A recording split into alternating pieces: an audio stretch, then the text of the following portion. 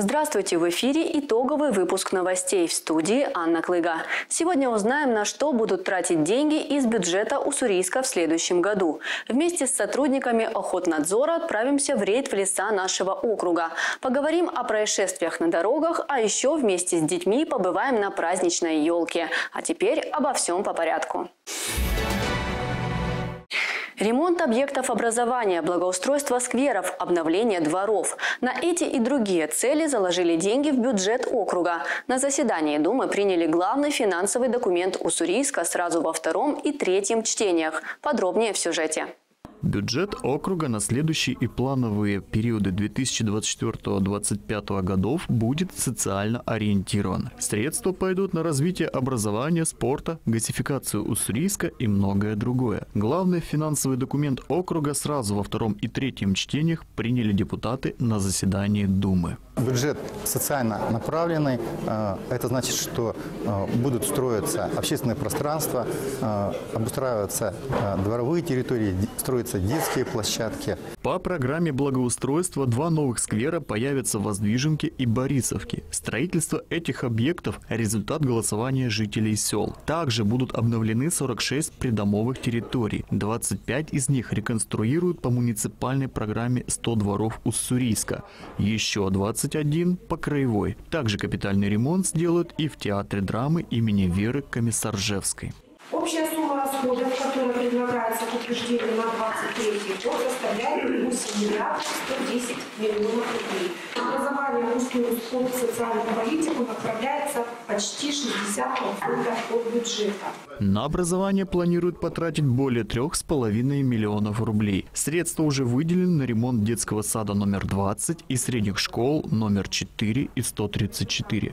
Отдельно коснулись и патриотического развития детей. В школах ведут новую должность советник директора по воспитательной работе. Евгений Михайлов, Игорь Антонов, Телемикс. Опасное заболевание для человека нашли в одном из сел Уссурийска. Такова легенда межрегиональных учений по ликвидации бешенства животных. Ветеринарные службы региона работали в одном из подворий Новоникольска. Маленький щенок оказался разносчиком болезни. Бешенство опасно как для переносчика, так и для людей и животных. Поэтому, по легенде, именно вспышку этого заболевания взяли за основу межрегиональных командных учений. Переносчик – это дикие мыши, собаки, получается. То есть, если собака, болеющая бешенством, покусает человека, если вовремя не принять меры в течение первых там, 45 часов, то человек э, летальный исход. За отработку был взят случай бесконтактного обнаружения зараженного животного. Больной щенок прибился ко двору. На контакт не шел.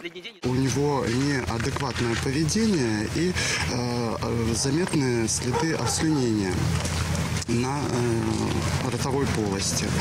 При э, попытке э, сконтактировать с животным, животное на контакт не пошло.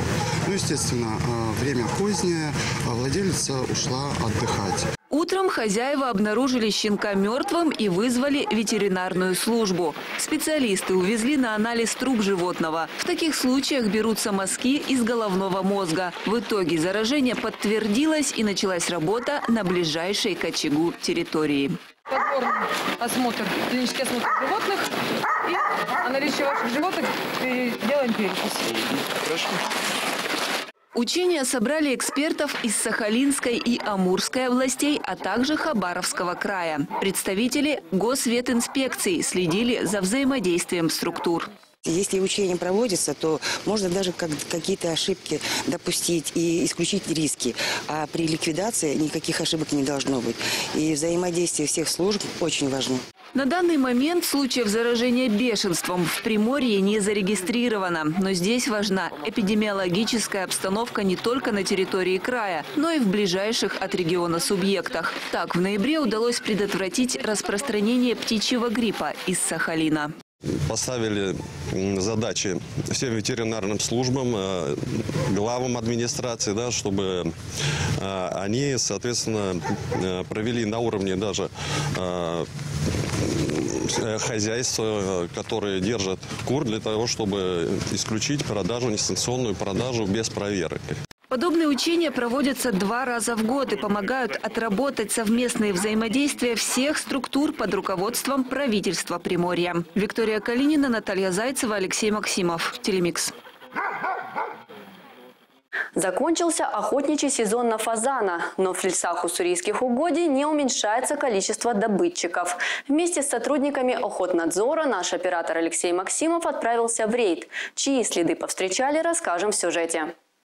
Анатолий Андреев – матерый следопыт. Старший государственный инспектор легко разберет, где пробежала косуля или кабан, и запросто выяснит, в какую сторону поехали охотники. Сейчас открыт сезон на копытных, а вот фазана можно стрелять последний день. В ежедневных рейдах сотрудники охотнадзора проверяют законность действий таежных путников. Первый встречный тут всегда не случайный. Ну, само разрешение, копия, что там номер разрешения и так далее. А на оборотной стороне, на путевке у вашего... Нет, с собой нет. С собой я не делал такое. Нет, неплохо, надо делать. Буду знать, Потому что говоря. сейчас вот э, у вас нет доказательств, что вы в составе группы охотников проводите коллективную охоту. Вот доказать нам нечем. А этот лесной пешеход не один, а с собакой. Подозрения инспекторов закономерны. Но с собой ни ружья, ни добычи. Мужчина рассказал, что просто выгуливает питомца. Сам житель Ленивичей. Едем дальше. Допускается свободный доступ граждан для активного отдыха, для сбора, допустим, в летний период дикоросов всяческих, просто тупо для отдыха, с семьей выехать на природу, подышать воздухом. Поэтому это не возбраняется. А если человек выезжает на отдых и берет с собой оружие, то он, согласно закону, уже охотник. А значит, должен иметь с собой охотничий билет, разрешение на право хранения и ношения огнестрельного оружия, разрешение на право охоты на открытый вид животных и путевку. Не у всех обязательные документы есть с собой. Куча нарушений. Вот требования к списку, вы знаете, какие должны быть, да? Что список составляется на каждый день охоты. Знаю. У вас исправление. Исправление не допускается. В отношении вас сейчас будет составлен однозначно протокол, потому что времени ждать, выяснять, догонять. Составим на вас протокол, привлечем вас к административной ответственности в виде штрафа.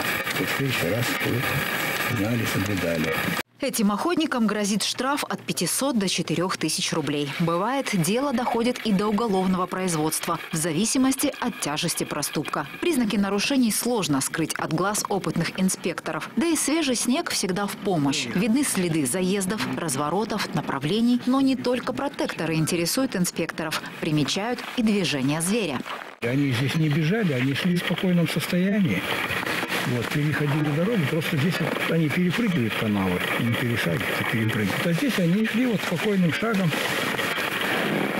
Справа три косули. Там, походу, есть покупки. Это, получается, косуля копытит, добывает желудь, кормится. Копытом разбивает снег до земли, листья поднимает, добирается до желудя, скрывает его механическим способом, путем копычения копытом. И все, вот результат. После окончания охотничьего сезона на копытных с 10 января в уссурийских угодьях начнется комплексный зимний учет. Когда выяснится, сколько здесь обитает зверя, станет понятна норма изъятия уже на следующий год. А вот инспекторам работы прибавится. И днем, и ночью сотрудники охотнадзора будут патрулировать лес и бороться с браконьерами. Ирина Мигунова, Алексей Максимов. Телемикс. Новое библиотечное пространство вокруг книг появилось в нашем городе. Теперь помимо чтения уссурийцы получат доступ к интернету и работе с мультимедийными программами. Детей займут в игровой зоне и даже научат созданию мультфильмов. Наш корреспондент оценил новшество модернизации книгохранилища на Междуречье. Гости и сотрудники библиотеки не скрывают радости. Долгие труды увенчались успехом. Новые книжные стеллажи, ноутбуки, мультимедийная аппаратура – результат выполнения программы по обновлению и созданию современного информационно-интерактивного пространства для взрослых и детей. Территория городской библиотеки номер 10 получила название «Вокруг книг». Зашел сюда, э, у меня сразу возникло такое, знаете, чувство э, теплоты, уюта, потому что на самом деле все такое новое, все модернизировано, и э, в такие библиотеки э, хочется ходить. Э, Был бы сейчас, наверное, ребенком, я бы тоже в такую библиотеку с огромным желанием бы ходил, и я думаю, что школьники будут рады с этого района, а, посещать эту библиотеку. Теперь любители чтения смогут проводить время не только с книгой в руках. Здесь можно сделать любую работу с документами или посетить интересную лекцию в отдельном зале. Для детей есть свое пространство. Интерактивные игры, творческая лаборатория «Алма» и световые планшеты «Песочные истории» заинтересуют даже самых требовательных. Закуплена у нас мультистудия, где дети могут э, рисовать. Э, есть специальные рисунки, которые они разукрашивают, сканируют, и у нас отображается это все на экране. Если вдруг быстро нужна дополнительная информация, которой нет в книге, а телефон дома или разрядился, не беда. В зале теперь есть места и для работы с электронными ресурсами. В библиотеке любой читатель может найти книгу по своему вкусу.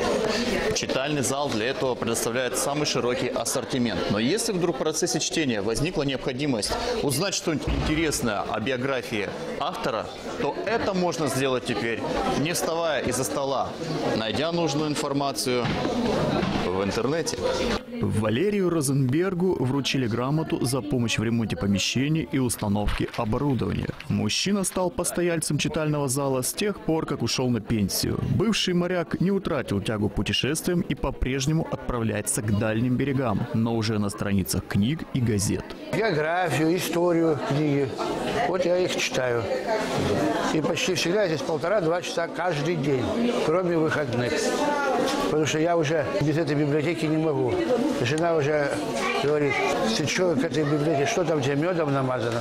Поздравить горожан и работников библиотеки пришли их коллеги, а также неравнодушные граждане, депутаты и сотрудники администрации округа. Музыкальный номер прозвучал от представителя творческого коллектива «Литературный Альтаир», исполнительницы авторской песни Галины Николайчук. Так быстро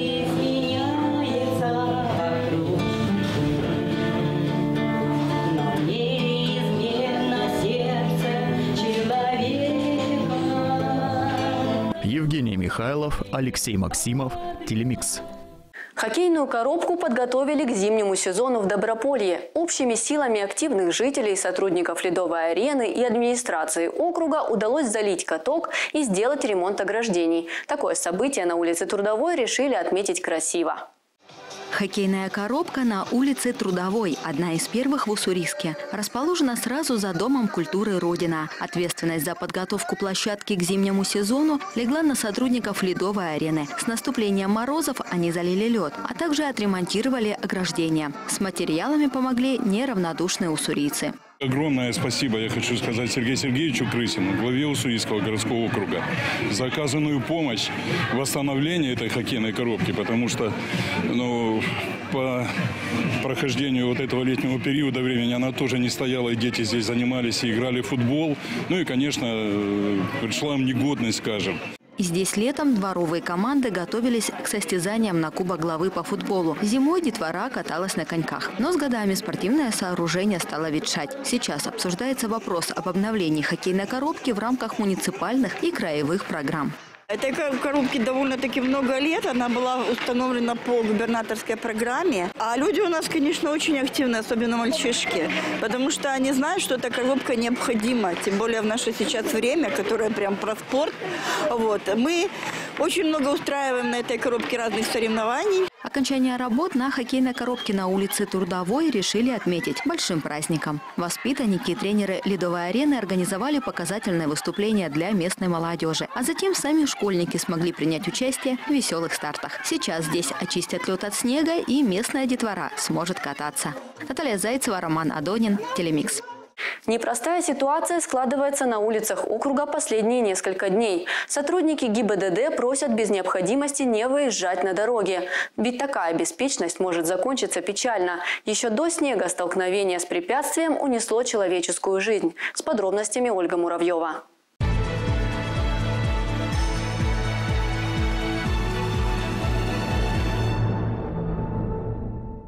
Среди пострадавших за неделю двое детей. С разницей в несколько часов мальчишки оказались под колесами. В одном случае виноват ребенок, а во втором автомобилист, который к тому же не оказал помощи пострадавшему и покинул место происшествия. Авария с одним участником на межпоселковой дороге. Водитель Приуса двигался из Никола Львовского в сторону Борисовки на приличной скорости. В опасный момент не успел среагировать и слетел с дороги в кювет, где угодил в дерево. У мужчины компрессионный перелом позвоночника. Съехал с проезжей части автомобилисты в городе и тоже на Приусе. В районе 256-го дома по Некрасово мужчина на Тойоте не справился с управлением и влетел в леерное ограждение. Пострадала женщина-пассажир. Малыш и гигант одной марки не разъехались на перекрестке. Мужчина на делике поворачивал с Некрасова в сторону Толстого и по правилам обязан был пропустить автомобиль со встречки. В итоге врезался в Mitsubishi Colt. Травмирована женщина во втором авто. У пострадавшей ушибленная рана головы. И вновь улица Некрасова в сводке происшествий, только на этот раз ДТП с тремя участниками. Водитель Калдина выезжал с улицы Амурской на Некрасова и проигнорировал требования знака «Уступи дорогу». Как итог, сильнейшее столкновение с «Лексусом». После зачинщика аварии отбросено на ленд-крузер. Пострадал автомобилист в первой машине. С сотрясением и сложными переломами мужчина госпитализирован. Крупное ДТП на Владивостокском шоссе. Мужчина на Тойоте Сай нарушил скоростной режим и врезался в кресту, которая по инерции продолжила движение и угодила в Королу. На этом череда злоключений не закончилась. Nissan Atlas тоже попал под замес. Травмированных нет, а вот машины предстоит долго ремонтировать. Несовершеннолетний под колесами. В районе 31-го дома по улице Приморская водитель Тойоты Аквы наехал на ребенка. Мальчик переходил улицу в неположенном месте в зоне видимости пешеходного перехода. У травмированного ушиб поясницы. Угодила под колеса и женщина на улице Русской. В темное время суток пешеход пересекала дорогу по нерегулируемому переходу. Однако не успела завершить маневр. Мужчина на Хонде, вероятно, не заметил этого участника движения. У пострадавшей множественные ушибы. На уходящей неделе есть и один погибший. Во втором часу ночи на улице Воровского Корола слетела с дороги. На приличной скорости угодила в дерево. Полученных травм водитель скончался на месте.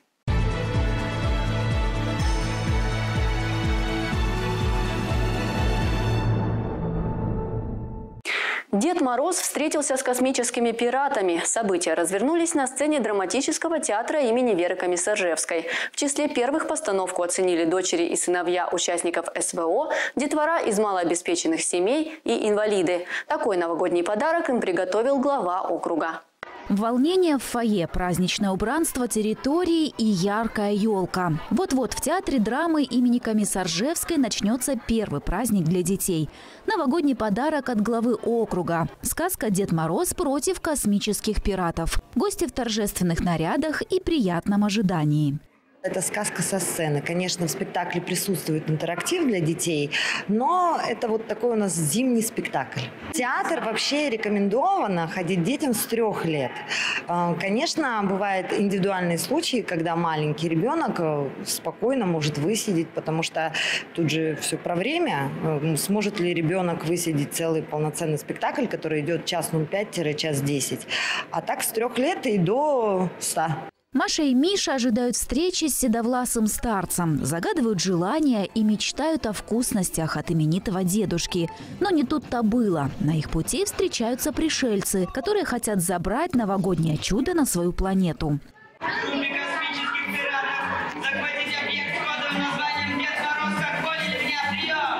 А вот и пиратская братва. Эти четверо намерены строить козни и втереться в доверие детворе, причем и тем, кто в зале. Спектакль интерактивный. Актеры вступают в разговоры со зрителем в попытках научить плохому. И только дедушка в красной шубе способен творить чудеса. Чтобы дети поверили, настоящий Дед Мороз или нет, нужно всегда оставаться Дед Морозом, а не кривлякой.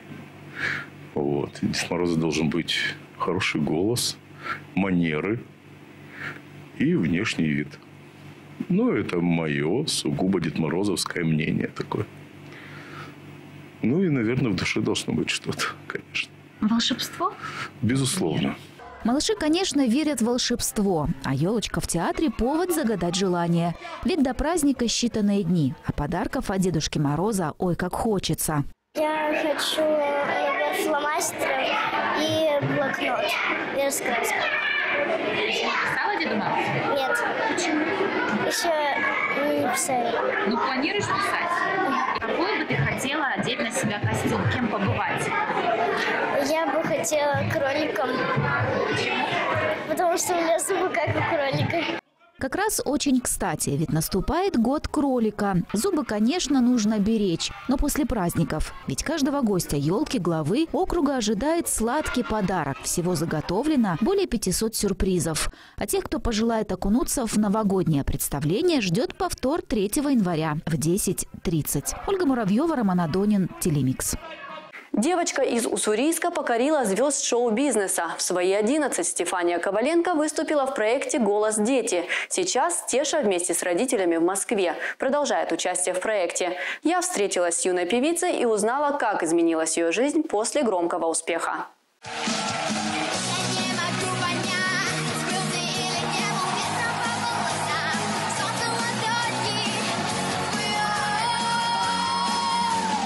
Девочка из Уссурийска взорвала сцену проекта «Голос дети», где выбирают лучших юных вокалистов страны. Число тех, кто вышел на площадку, Стефания Коваленко попала не сразу, но в итоге добилась цели путем своих трудов и упорства родителей. На кастинг ходили на голос мы почти два с половиной года. На один кастинг мы не попали два года назад, потому что уже было поздно заявку подавать. В том году мы подали заявку, но мы не прошли кастинг. Мы стали заниматься вокалом больше в этом году. И вот прошли кастинг. Девочка уже прочувствовала, что путь к славе тернист. Начался он пять лет назад в Уссурийске с фольклорного отделения детской школы искусств. Потом на занятия будущую певицу возили во Владивосток. Год назад семья переехала в Москву к лучшим педагогам страны. Мама почти постоянно за рулем, чтобы везде успеть. А Стеша встает рано утром и возвращается домой поздно вечером. Занятия в школе и секциях идут почти без перерыва.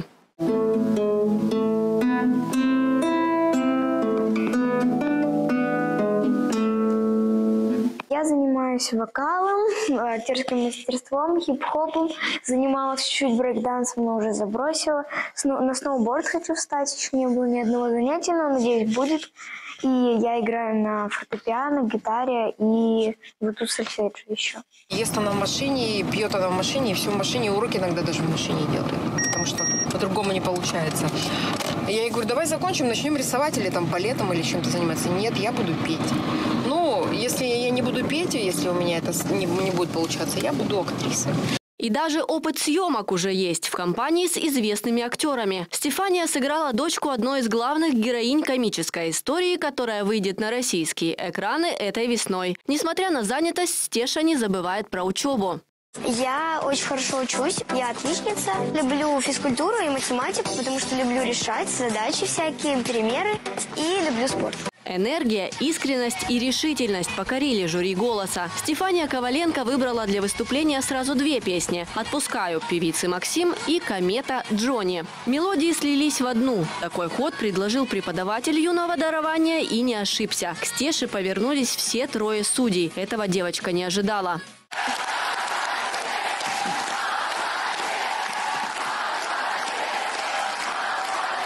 Я люблю музыку Максим, и я пела ее песню, она ко мне первой повернулась. Были реакции такие очень для меня хорошие, и поэтому я пошла к ней. Теперь Стефания Коваленко учится у известной певицы и посещает прежние занятия. Первый отбор шоу «Голос» пройден. Стефанию ждет борьба в тройке исполнителей, из которого выйдет только один и продолжит путь дальше. Она вообще поменялась после голоса. Она стала взрослее, серьезнее, и отношение у нее стало намного серьезнее к этим всем вещам. Девочка родом из нашего города настроена решительно и тратит все свои силы, чтобы обойти соперников. Результат покажут скоро на Первом канале. Многие верят, что в Новый год случаются чудеса. Стеша и ее родители точно знают, что попросят у Деда Мороза. А мы всем уссурийском скрестим за них пальчики. Анна Клыга из Москвы специально для Телемикса. Однажды почувствовать себя звездой. Такая возможность выпала участникам шоу «Голоса». 11 семей больше месяца занимались с вокальными наставниками, а после предстали перед публикой. Оценила певческие таланты и наша съемочная группа. В этом зале все как в лучших традициях масштабных певческих конкурсов, только действие разворачивается в Уссурийске. И участники шоу «Голос» пока еще не звезды, а самые обычные жители города, возможно, из соседнего дома, улицы или двора. Просто они смелые. Решились в дуэтах ребенок и родитель выйти на сцену. Эмоции вообще просто шквал. Дети, вот буквально час идет э, подготовка в таком восторге. Родители, к счастью, не переживают. В общем, мы, как всегда, на все сто готовы. А Вот это все настолько будоражит и заряжает просто эм, неимоверной энергетикой людей. Я впервые нахожусь на подобном мероприятии, но эмоции уже шикарные. Я думаю, что будет сегодня очень круто и энергетически заряженное помещение уже сейчас. Невероятная энергетика – главный двигатель организатора проекта и всех участников. Таких набралось 11 команд. Обязательное условие – в каждой поет родитель и ребенок. Помощники – опытные наставники. Люди, которые своими голосами уже покорили наш город. Тут все-таки а, связь родителя, ребенка и творчества дает, в общем-то, многое, творит чудеса. И э, семьи просто, если проект был изначально задуман, да, один родитель, один ребенок, то мы сейчас отслеживаем, то практически вся семья принимает участие а, в номерах, поддержка, а, сидят семьи в зале. И, ну, это здорово. Неожиданно, но среди вокалистов оказалось много отцов. Бытует мнение, что папы чаще держатся в тени. Только не на этот раз. Мужчины смело поддержали своих детей. Возрастных ограничений здесь не вводили. Самой маленькой участнице всего пять лет.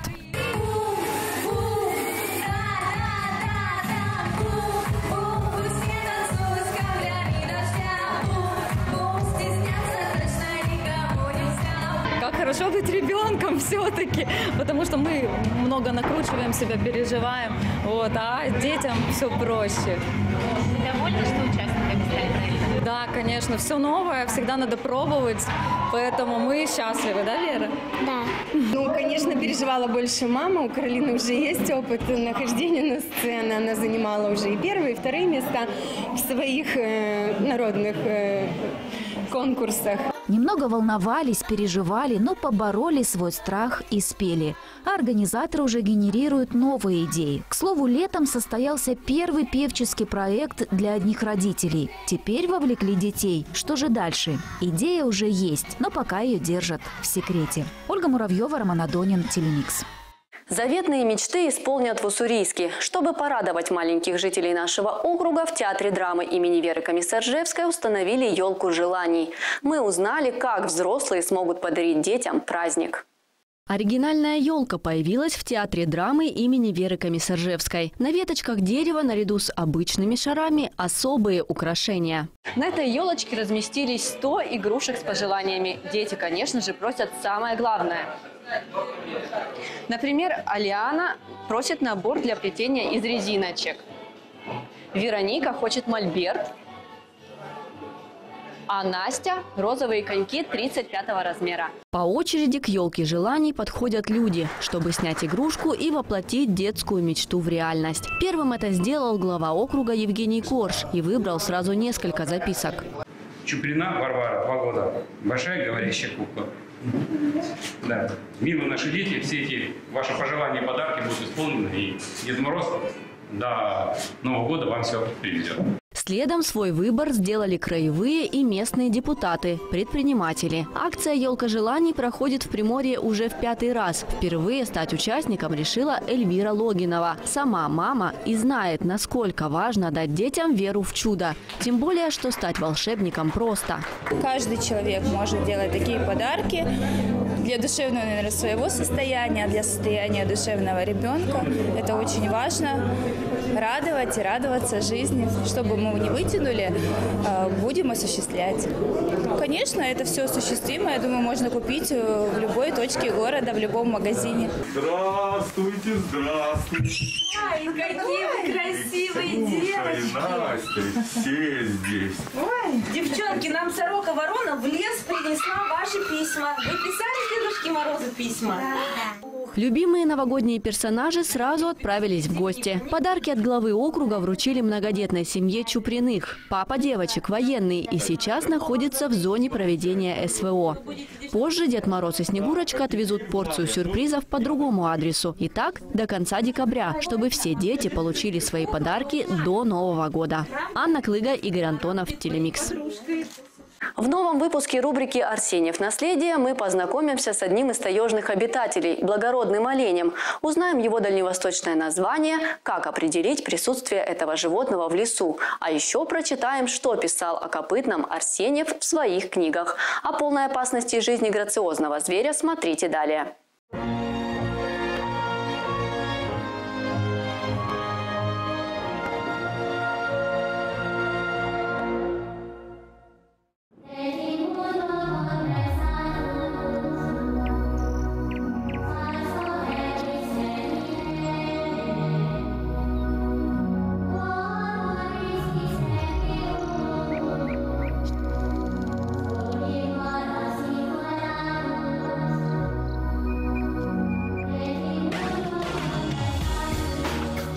Всем привет! Это снова рубрика «Арсеньев. Наследие» и с вами Евгений Михайлов.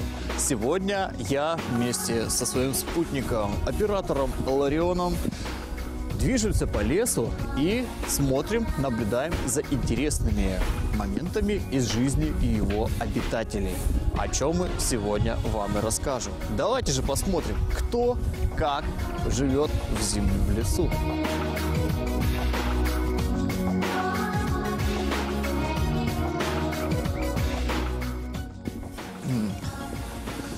А вот такое дерево мы, кажется, уже встречали и говорили об этом явлении в одном из прошлых выпусков. Тогда мы идентифицировали его как лесной перекресток.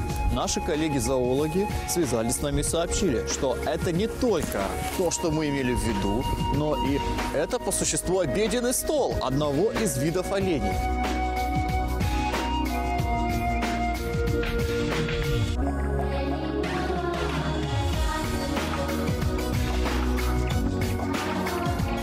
Сейчас мы поговорим с вами об этом виде оленей, который объел этот ствол от основания до почти двухметровой высоты, выше даже моего роста. Это был изюбрь или уссурийский благородный олень. На вершине хребта Дадяньшань растет лес крупный, чистый, вследствие чего наше передвижение с вьюками происходило довольно быстро. В одном месте мы вспугнули двух изюбров, самца и самку. Олени отбежали немного и остановились как вкопанные, повернув головы в нашу сторону. Один из казаков хотел было стрелять, но я остановил его. Продовольствия мы имели достаточно. А лошади были перегружены настолько, что захватить с собой убитых оленей мы все равно не могли бы. Я несколько минут любовался изюбрами. Наконец самец не выдержал. Он издал короткий крик и, положив рога на спину, сильными прыжками пошел наискось под гору. Это стройное и красивое животное имеет длину 1,9, а высоту 1,4 метра. Вес тела достигает 197 килограммов. Шерсть изюбра летом светло-коричневая, зимой серовато-бурая, с бело-желтым зеркалом сзади. На длинной и сильной шее, украшенной у самцов гривой, помещается красивая голова с большими трубчатыми и подвижными ушами. Рога зимой спадают и весной вырастают вновь, и притом каждый раз одним отростком больше. Поэтому по числу отростков можно судить о возрасте оленя, считая один лишний год, когда он ходит безрогим. Однако количеству отростков есть предел. Обыкновенно взрослый самец имеет их не более семи. В дальнейшем идет только увеличение веса рогов, их размеров и толщины. Молодые весенние рога, наполненные кровью и еще не затвердевшие, называются понтами. Арсеньев по Уссурийскому краю. Высота снежного покрова здесь приятная. У меня даже носок ботинка и то полностью не проваливается. А между тем этот показатель очень критический для жизни поголовья всех копытных в крае. В период выпадения больших снегопадов, так называемых завальных, жизнь изюбри и не только их становится невыносимой, и они зачастую погибают целыми стадами.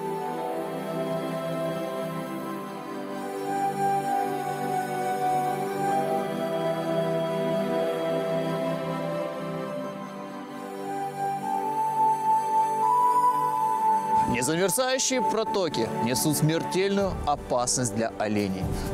Во многих частях Приморья такие смертельно опасные ловушки представляют угрозу для жизни оленей всю зиму. Попав в которую, если достаточно глубоко, он выбраться сам не может и поэтому замерзает насмерть. Да, жизнь зюбря в лесу трудна. Хищники, охотники, другие опасности – и поэтому, чтобы хоть как-то сохранить свою жизнь, нужно как минимум уметь хорошо маскироваться. Вот как я сейчас.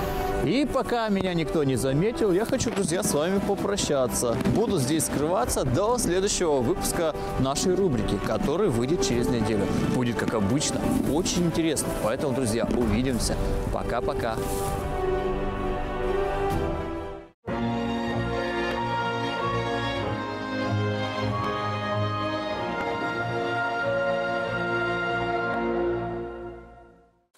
Такой была эта неделя. Мы продолжим собирать для вас самые интересные новости. В студии работала Анна Клыга. До скорой встречи. Хотите провести Новый год в своей квартире? При бронировании и покупке квартиры в жилом комплексе Александровские высоты во втором и третьем доме квадратный метр в подарок для семей с детьми. А для тех, кто не подходит под дальневосточную ипотеку, высота дарит скидку 3% на квартиру. В Новый год к новым высотам. Улица Александра Францева, 40, офис 4, телефон 33 75 75.